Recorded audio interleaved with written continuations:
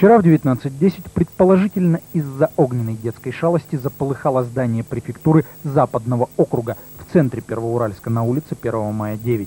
Если точнее, горело со стороны черного хода мусор в сварном металлическом пристрое, обшитом древесно-стружечной плитой. Здание это не эксплуатируется. Окна первого этажа забиты досками, а внутри нет не то что сотрудников аппарата префекта, но даже обыкновенного вахтера. Помещение не охраняется.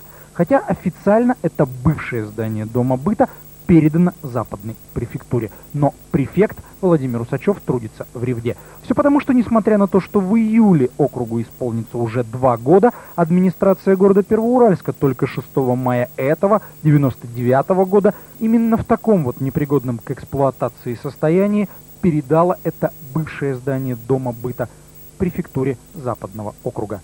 Префектура и префект, как нам сообщили сегодня, префектурской пресс-службе не переехали туда только потому, что там теперь нужно делать большой ремонт в настоящий момент. Как раз составляется смета для этого ремонта. В самое ближайшее время собираются приступить к работе.